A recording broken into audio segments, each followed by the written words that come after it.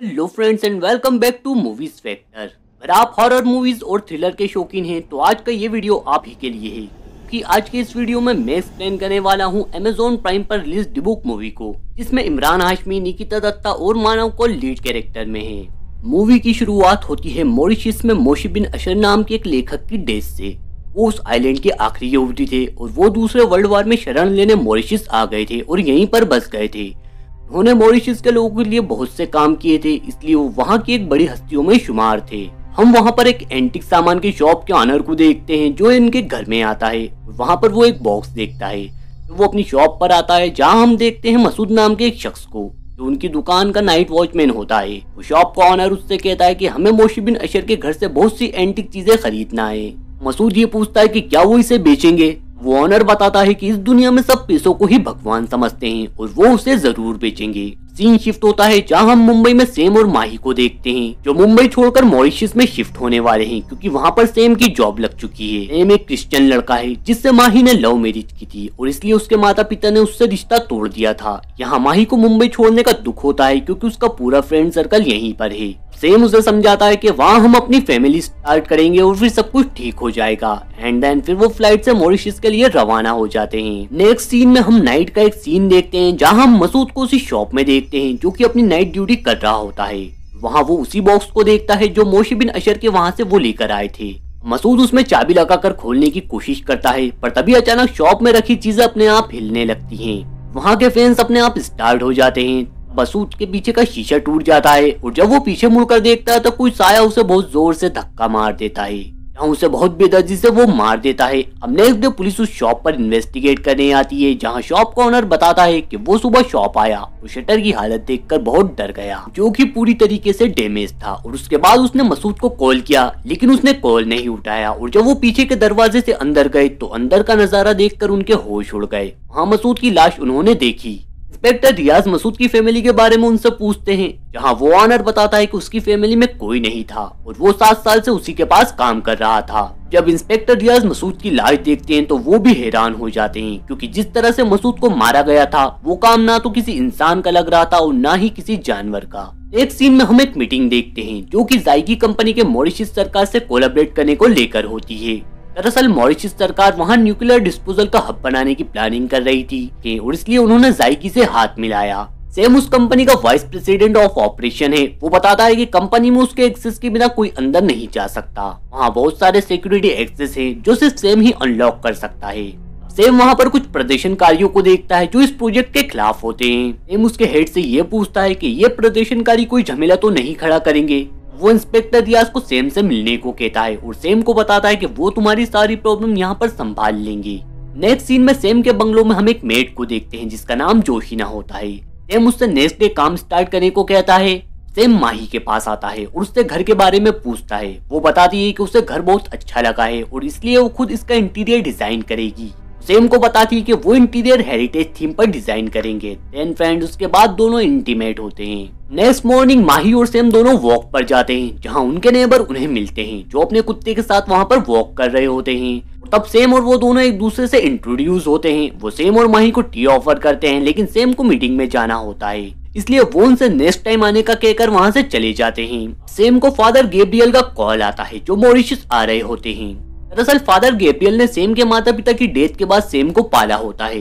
Next scene में माही उस antique shop से वो बॉक्स अपने घर ले आती है और उसे ओपन करती है, जहाँ उसमें वो एक रेड लिक्विड से भरी हुई बोतल देखती है और साथ में एक कपड़े में बंधे हुए कुछ बाल। तभी उसमें से कुछ धुआँ उठता है फ्रेंड जो माही की बॉडी में इंटर हो जाता है। मानो कोई आत्मा माही की बॉडी में आ जाती है। रात में जब सेम घर आता है तो वो देखता है कि उसके पूरे घर की लाइट्स ऑफ़ है। वो मोबाइल टच ऑन कर माही को ढूंढता हाँ। अचानक माही उसके सामने आ जाती है और उससे कहती है कि वो टॉय ढूंढ रही थी और बताती है कि वो बहुत थक चुकी है और सोने जा रही है। यहाँ हम देखते हैं कि जब माही सेम से बात कर रही होती है तो उसका एक्सप्रेशन टोटली डिफरेंट होते हैं। मानो जैसे वो माही नहीं, कोई और है। Next morning same morning walk कर घर लौटता है, जहाँ माही उस बॉक्स के पास बैठी होती है और जब सेम आता है तो वो उसे अजीब तरीके से घूरती है। सेम बताता है कि उसने सुबह उसे बहुत उठाया, लेकिन वो इतनी गहरी नींद में थी कि वो उठी ही नहीं। माही को किसी के पैरों की आहट सुनाई देती है और तभी वो अचानक एक लड़की का साया शीशे में देखती है। उसके बाद वो टॉयलेट हीट में बालों को देखती है एंड अब वो बाथरूम में जाती है, जहाँ वही अनजान लड़की का साया उसका हाथ पकड़ लेता है। डर कर घर से बाहर आती है, जहाँ जोशीना उसे मिलती है। माई सेम की कंपनी में उससे मिलने चली जाती है, जहाँ वो इन सब के बारे में उसे बताती है। वो बताती है कि वो पूरा दिन उस घर में अकेली रहती है, जिससे उसे बहुत डर लगता है। सेम उसे समझाता है कि वो सिर्फ़ उससे एक कॉल की दूरी पर है, वो जब चाहे उसे कॉल कर सकती है। जब रात में ये दोनों सो रहे होते हैं, तभी उनकी चादर अपने आप हट जाती है और अचानक सेम की नींद खुल जाती है।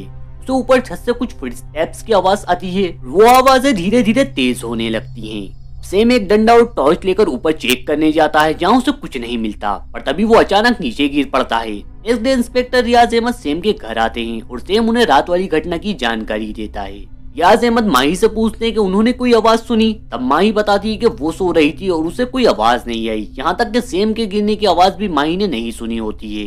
रियाज अहमद कहते हैं कि वो यहाँ पर इन्वेस्टिगेशन करके उन्हें कुछ बताएँगे। अब सेम रियाज अहमद को बाहर तक छोड़ने जाता है और अब माही को छत पर खड़ा हुआ वो देखता है। हमारी अपनी ही धुन में शांत खड़ी रहती है। सेम फादर गेब्रियल को एयरपोर्ट से घर लाता है। अब फादर गेब्रियल को घर में घुसते ही ये एहसास हो जाता है कि ज़रूर यहाँ पर कुछ गड़बड़ है। तब उनकी नज़र उस बॉक्स पर पड़ती है। इधर सेम देखता है कि माई ऊपर उसी स्टोर रूम में गई है, जहाँ पर रात में सेम को फुट स्टेप्स की आवाज़ें आ रही थी। ऊपर जाकर देखता है जहाँ माही बेहोश पड़ी होती है और वो उसे हॉस्पिटल लेकर जाते हैं। फादर गेब्रियल बताते हैं कि जो बॉक्स उनके घर में है, वो डिबुक है। फादर बताते हैं कि सिक्सटीन सेंचुरी में कुछ जेविश लोग एक रिचुअल परफॉर्म करते थे। वो डिससेटिस्फाइड आत्माओं को उनकी बॉडी से अलग कर एक बॉक्स में बंद कर देते थे। और उस बॉक्स को डिबुक कहा जाता है। ये रिचुअल अलग अलग मकसद के लिए किया जाता था, लेकिन अगर कोई भी उस डिबुक को खोल लेता है तो उसमें कैद आत्मा किसी को भी पोजेस्ट कर सकती है। समीर कहता है कि अगर वो इस बॉक्स को फेंक दे तो क्या सब कुछ ठीक हो सकता है? लेकिन फादर बताते हैं कि अगर एक बार बॉक्स की आत्मा बाहर आ जाती है तो वो बॉक्स किसी भी काम का नहीं रहता है। फादर गेब्रियल कहते हैं कि इस बॉक्स पर हिब्रू में कुछ लिखा है, और पहले उन्हें इसका मतलब जानना होगा। वो उनके एक फ्रेंड को उस बॉक्स का पिक सेंड करते हैं, जहाँ वो फादर पॉल को बताता है कि ये बहुत कॉम्प्लिकेटेड है। बहुत खतरे वाली बात है। और तब वो फादर पॉल को उनके एक फ्रेंड का नंबर देता है, जो पहले मुंबई के खबाड़ा हाउस में थे। अब समीर उनसे मिलने जाता है, जिनका नाम रवि बेनियामिन होता है। उन्हें उस डिबुक बॉक्स के बारे में बताता है। तब वो बताते हैं कि अगर तुम्हारे घर में वो बॉक्स डिबुक है भी तो वो किसी को इतनी आसानी से पोजेस नहीं कर सकता। वो सिर्फ़ उन्हीं लोगों को पोजेस करता है, जिनका शरीर और आत्मा आपस में पूरी तरह से जुड़े ना हो। इसलिए वो सेम से कहते हैं कि तुम्हें घबराने की कोई ज़रूरत नहीं है। अब हम वहाँ मार्कस को देखते हैं, जो कि रवि बेनियामिन के साथ सालों से है। सेम को माही का कॉल आता है जो उसे अपने प्रेग्नेंट होने की खबर देती है। ये सुनकर सेम बहुत खुश हो जाता है। अब ये सुनकर रवि, बेनियमिन थोड़ा हैरान हो जाते हैं एंड अब सीन चेंज होता है और हम सेम को माही के पास देखते हैं। जहाँ माही बहुत खुश होती है, लेकिन सेम के चेहरे पर हम थोड़ी शिकन देखते हैं। फिर हमें बेनियामिन और सेम की कन्वर्सेशन वापस दिखाई जाती है, जहाँ बेनियामिन सेम को बताते हैं कि वो बॉक्स उन्हीं लोगों को पोजेस्ट करता है, जिनका शरीर और आत्मा आपस में पूरी तरीके से जुड़े ना हो। जैसे कोई दिमागी बीमारी वाला शख्स या कोई नवजात शिशु, क्योंकि उसके पैदा होने के कुछ सालों तक उसके शरीर से आत्मा अलाइन नहीं होती, यानी कि जुड़ती नहीं है। तो जब बेनियामिन माही की प्रेगनेंसी की न्यूज़ सुनते हैं तो वो सेम को बताते हैं कि डिबुक की आत्मा ने तुम्हारे बच्चों को पोजेस कर लिया है, और जो कोई भी एक्सोसिज्म करता है, वो आत्मा का सबसे बड़ा दुश्मन बन जाता है। मीर फादर गेब्रियल को बताता है कि उसने उनसे बहुत रिक्वेस्ट की और वो उसकी हेल्प करने को तैयार हो गए। उन्होंने उसे नेक दे खपाड़ा हाउस बुलाया, लेकिन जब वो वहाँ गया तो बेनियामिन मर चुके थे। हसेम मार्कस से मिलता है और मार्कस उसे बताता है कि डिबुक से निकली आत्मा जब तक सब कुछ बर्बाद नहीं कर देगी, वापस उस डिबुक में नहीं जाएगी। सेम कहता है कि अगर वो एबॉर्शन करवा ले तो तब मार्कस कहता है कि ऐसा करने पर माही की जान को खतरा हो सकता है। मार्कस बताता है कि डिबुक तुम्हारे बच्चे के ज़रिए इस दुनिया में आना चाहता है और उसका मकसद क्या है, इसके लिए उन्हें उसके बच्चे का जेंडर पता करना होगा और तब तक उन्हें सिर्फ़ इंतज़ार करना पड़ेगा। सेम मार्कस को उसके साथ चलने को कहता है, तब मार्कस कहता है कि वो ज़रूर आएगा, लेकिन उसके लिए बहुत तैयारी करनी होगी। तब वो एक लोगट सेम को देता है और इसे यहूदी बहुत मानते हैं। वो तुम्हें प्रोटेक्ट करेगा ये कहकर वो सेम को जाने को कहता है। मार्कस सेम को ये भी बताता है कि आत्माओं की शक्ति शीशे से बहुत ज़्यादा बढ़ जाती है, इसलिए सेम घर आकर सभी शीशे घर के तोड़ देता है और उन्हें बरी कर देता है। और इधर मार्कस अपनी तैयारियों में लग जाता है। वे एक दिन माही और सेम वॉक कर रहे होते हैं, जहाँ उनकी नेबर उन्हें मिलती है और तभी उनका कुत्ता माही को देखकर भोंकने लगता है, जिसे देखकर माही सेम के पीछे छुप जाती है और दोनों वहाँ से निकल जाते हैं। जाते समय माही उस कुत्ते को घूरती है, जहाँ अब वो कुत्ता डर के मारे नीचे बैठ जाता है।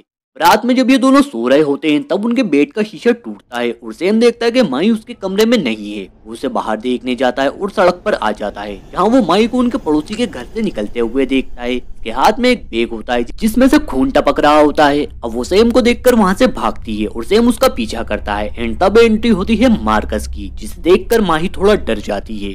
अब मार्कस माही से जैविश लैंग्वेज में कुछ पूछता है जहाँ वो जेविश में अपना नाम बताती है इब्राहिम इजरा, और तब मार्कस उसे बेहोश कर देता है। और हम देखते हैं कि उस बैग में से उस कुत्ते का सर कटा हुआ निकलता है। और वो माही को अपने घर ले आते हैं, जहाँ डॉक्टर उन्हें बताता है कि वो ब्लड प्रेशर बढ़ने की वजह से बेहोश हो गई थी। और सेम को कहते हैं कि उसका ख्याल रखने के लिए किसी लेडी का होना ज़रूरी है। तब सेम कहता है कि दो दिन बाद माही की मॉम आने वाली है। अब मार्कस को बेनियामिनी की एक बात याद आती है कि जो कोई भी एक्सोसिज्म को करेगा या माही की हेल्प करने की कोशिश करेगा, वो डिबुक उसे मारने की कोशिश करेगा। इसलिए हमने देखा था जब मार्कस आ रहा था तो उसकी कार का एक्सीडेंट होते होते बचा था। अब नेक्स्ट सीन में हम पुलिस को सेम के नेबर के यहाँ इन्वेस्टिगेट करते हुए देखते हैं, जहाँ इंस्पेक्टर रियाज को माही की वो पायल मिलती है। यहाँ उसे ये नहीं पता होता कि ये पायल माही की है। अब नेक्स्ट सीन में सेम के साथ मार्कस उसकी कंपनी जाता है, जहाँ उसे ये पता चलता है कि सेम एक रेडियो एक्टिव प्लांट में काम करता है। अब मार्कस को शॉप ऑनर से पता चलता है कि वो बॉक्स मोशी बिन अशर के यहाँ से लेकर आया था। अब मार्कस उनका एड्रेस लेकर वहाँ पर जाता है, जो कि घर बंद होता है। मार्कस ताला तोड़कर अंदर जाता है, जहाँ उन्हें एक चौकीदार रोकता है। मार्कस उसे पैसे देकर अंदर चले जाता है, जहाँ वो डिबुक उस चौकीदार को मार देता है और मार्कस की ओर बढ़ने लगता है। अब मार्कस वहाँ पर अपना लॉकेट निकालते हैं, जिससे वो डिबुक डर जाता है और वहाँ से चला जाता है। और तब मार्कस को एक बुक वहाँ पर मिलती है, और उसमें डिबुक और साथ ही इब्राहिम इजरा की स्टोरी होती है। और इसी के साथ कहानी जाती है फ्लैश बैक में, जहाँ हम 1961 का सीन देखते हैं, जहाँ पर इब्राहिम इजरा नाम का एक लड़का नोरा नाम की एक लड़की से प्यार करता था। नोरा इस बात से दुखी थी कि इब्राहिम रोड्रिग्यूज जा रहा था। इब्राहिम नोरा को बताता है कि वो बिज़नेस सीखने वहाँ पर जा रहा है। जब उनके पास पैसे होंगे, तभी तो वो शादी कर पाएँगे और इस तरह इब्राहिम रोड्रिग्यूज चला जाता है। अब हम देखते हैं याकूब इजरा को, जो उस आइलैंड के बहुत बड़े बिजनेसमैन है और इब्राहिम के पिता भी हैं। याकूब ब्लैक मैजिक पर बहुत बिलीव करता है और उसे ऐसा लगता है कि ये शोहरत उसे उस ब्लैक मैजिक की वजह से ही मिली है। अब इब्राहिम वापस आता है और वो नोरा को एक गाउन गिफ्ट करता है, जो कि यहूदी लोग उनकी वेडिंग में पहनते हैं। अब एक दिन दोनों इंटीमेट होते हैं, जहाँ पर नोरा प्रेग्नेंट हो जाती है। इब्राहिम उसके पिता से नोरा और उसके रिश्ते के बारे में बात करने जाता है, लेकिन उसके फादर नहीं मानते, क्योंकि नोरा दूसरे धर्म से बिलोंग करती है। वो अब इब्राहिम को बंद कर देते हैं। अब नोरा के प्रेग्नेंट होने की खबर उसके घर वालों को भी चली जाती है और वो भी उसे कैद कर देते हैं। इब्राहिम अपने एक सर्वेंट के हाथों नोरा को एक चिट्ठी भेजता है, जिसमें लिखा होता है की उनका मिलना इस जन्म में नामुमकिन है, इसलिए वो उसे भूल जाए। नोहा से माफ़ी माँगता है और अब यह सुनकर नोहा सुसाइड कर लेती है। बाद में ये खत नोरा के पिता को मिल जाता है और उन्हें पता चल जाता है कि सारा मामला क्या था। अब पूरा गाँव इब्राहिम और उसके पिता को मारने के लिए घेर लेता है, जहाँ वो गाँव वाले इब्राहिम को बुरी तरीके से घायल कर देते हैं अब हॉस्पिटल में याकूब को ये पता चलता है कि इब्राहिम अब पहले की तरह अपनी ज़िंदगी नहीं जी पाएगा। इस बात से याकूब पूरी तरीके से टूट जाता है और वो पूरे आइलैंड वालों से बदला लेने का मंसूबा बना लेता है। और ब्लैक मैजिक की मदद से इब्राहिम की आत्मा को एक बॉक्स में बंद कर देता है और साथ ही एक श्राप ये भी जोड़ देता है कि जब इस आइलैंड का आखिरी यहूदी मर जाएगा और पूरी यहूदी कौम का इस आइलैंड से सफाया हो जाएगा, तब यह आत्मा एक शरीर में आ जाएगी और बहुत तबाही मचाएगी।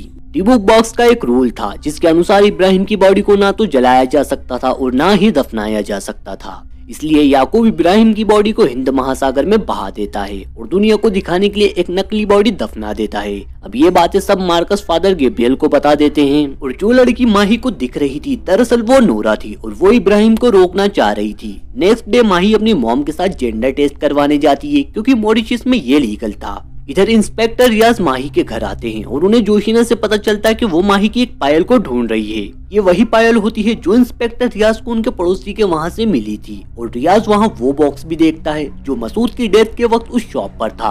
अब रियाज का शक इन लोगों पर और बढ़ जाता है। अब सेम से रियाज मिलता है, पर फादर उसे माही के पास भेजते हैं और रियाज को पूरी सच्चाई बता देते हैं। पहले तो उसे इस बात पर यकीन नहीं होता, लेकिन वो बाद में यकीन कर लेता है। अब रियाज मार्कस के साथ उस कब्रिस्तान में जाता है, जहाँ याकूब ने इब्राहिम की बॉडी को दफनाया था, और जब वो उसे खोलते हैं तो उसमें एक फेक बॉडी उन्हें मिलती है। और उन्हें इस बात का यकीन हो जाता है कि बुक में लिखी सभी बातें सच थी। अब मार्कस रियाज से दस यहूदी लोगों का इंतज़ाम करने को कहता है, क्योंकि उनको रिचुअल परफॉर्म करने के लिए उनकी ज़रूरत लगेगी। हम देखते हैं कि मार्कस फादर गेब्रियल के कहने पर न्यूक्लियर हब जाता है, क्योंकि वहाँ पर शॉर्ट सर्किट हो जाता है। वहाँ हम सेम को भी देखते हैं और तभी रियाज सेम को शौक देकर बेहोश कर देता है।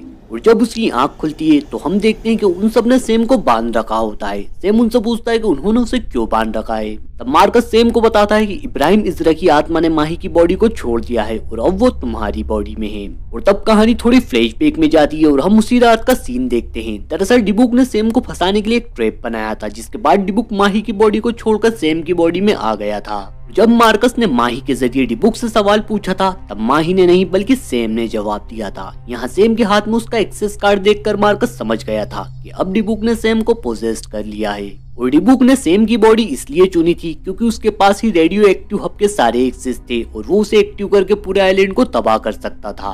बचपन में अपने माँ बाप का एक्सीडेंट देखकर सेम ट्रॉमा में चला गया था, जिससे डिबुक को उसे पोजेस्ट करने में और आसानी हो गई थी। और अब कहानी प्रेजेंट में आती है और रियाज दस टूरिस्ट यहूदियों को वहाँ पर लाते हैं, रिचुअल परफॉर्म करने के लिए और फिर एक्सोसिज्म स्टार्ट होता है। एंड हम देखते हैं कि इब्राहिम की आत्मा सेम पर हावी हो जाती है और सभी प्रिस्ट को नुकसान पहुँचाने की कोशिश करती है। देन इवन मार्कस वो रिचुअल परफॉर्म करते हैं और लास्ट में सेम की बॉडी से इब्राहिम की आत्मा निकालकर वापस उसी बॉक्स में बंद कर देते हैं और बाद में उसे वो रियाज अहमद के साथ हिंद महासागर में बहा देते हैं। लास्ट में हम देखते हैं कि माही एक बेबी बॉय को जन्म देती है और फ्रेंड्स इसी के साथ ये मूवी का यहीं पर अंत हो जाता है।